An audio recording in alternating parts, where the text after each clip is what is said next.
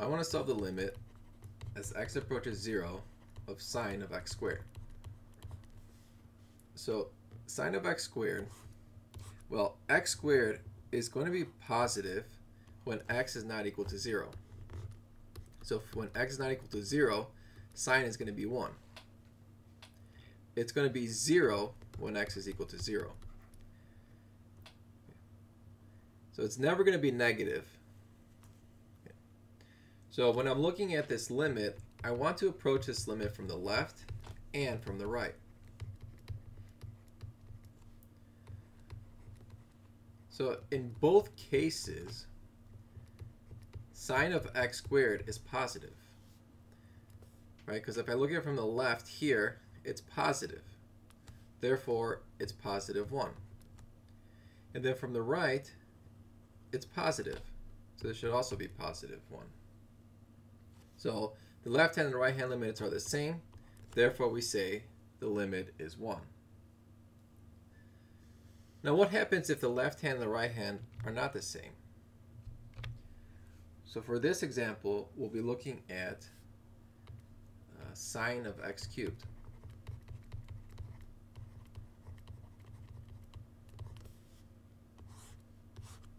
So it's going to look something like this. We're going to be considering the left hand and the right hand again.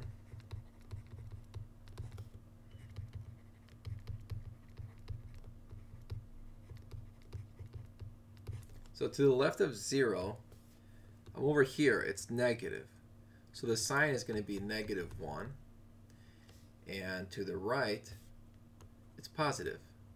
So the sign is going to be positive 1. Because the left hand and the right hand limits don't agree, we say that the limit does not exist.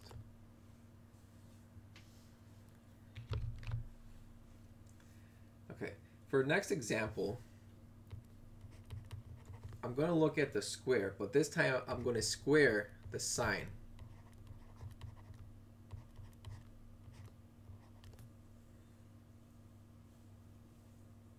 Okay, so it might be better if I factor out the square like this.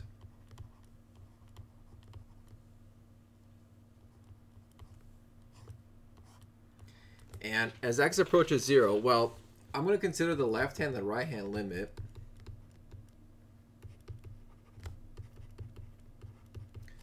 The left hand limit is negative, right? Because, you know, x is negative when x is less than 0. So this will just be negative 1 squared, which is positive 1.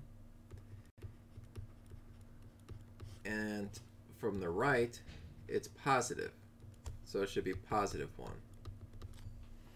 Either way, left hand and right hand limit, you get positive 1. So your limit is also 1.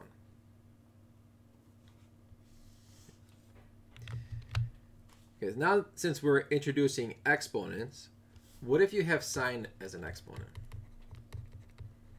So we'll have sign of x raised to the sign of x. Okay, the process is still the same. Let's approach it from the zero from zero from the left, and let's approach it from the right.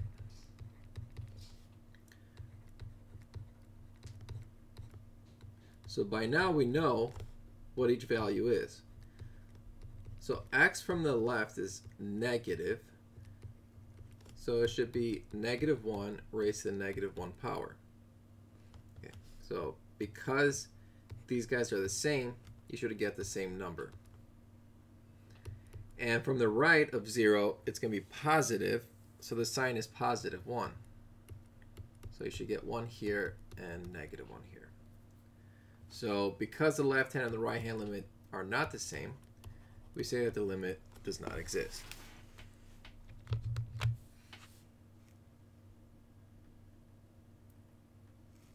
And next we'll be looking at natural log.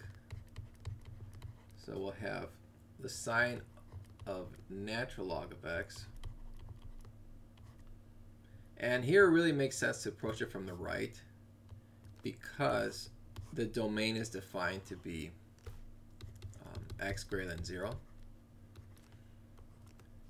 So if I was looking at approaching it from the right of 0, clearly that is negative. So the sign, this thing is negative, so this is going to be negative 1. Right, because sign, if sign is negative, it's going to be 0. It's going to be negative 1, sorry.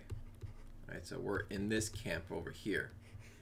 Since it's negative, we're going to get negative 1 as our answer. All right, we did ln of x. Now let's do e to the x. Let's say limit as x approaches 0 of e to the sign of x. One thing about, um, well, actually, no. Let's try this. So we want to approach it from the left and the right. So sign of x from the left. So that one's going to be negative, right? So this will be negative 1. And from the right, it's positive. So I'm going to say positive 1. Because the left hand and the right hand limits do not agree, we say that the limit does not exist. What if instead I said limit as x approaches 0 of e to the absolute value of sign of x? Okay, so does that change things? Well, when I'm looking at the left-hand limit, I'll be really taking the absolute value of negative 1. So that would just be e. And then from the right, if I take the absolute value of 1, it's just 1, right? So we get e. So that would change my answer and make the limit equal to e. So just by putting the absolute value. Now let's reverse it. Let's take e and sign of x and flip them. So let's have them switch spots. So I have x approaching 0, sign of x raised to the e to the x power. So let's see. We have x approaching 0 from the left.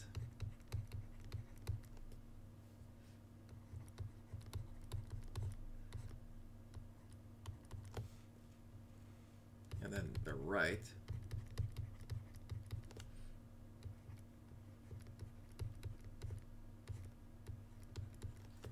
Okay, sign of x is negative when x is approaching 0 from the left, so we say negative 1. e to the 0 is just 1. So this is just negative 1. And then sign of 0 from the right, well, that's positive. So we'll say it's positive 1. And then e to the 0 is 1. So my limit is 1 here. And because the left hand and the right hand limit do not agree, we say that the limit does not exist.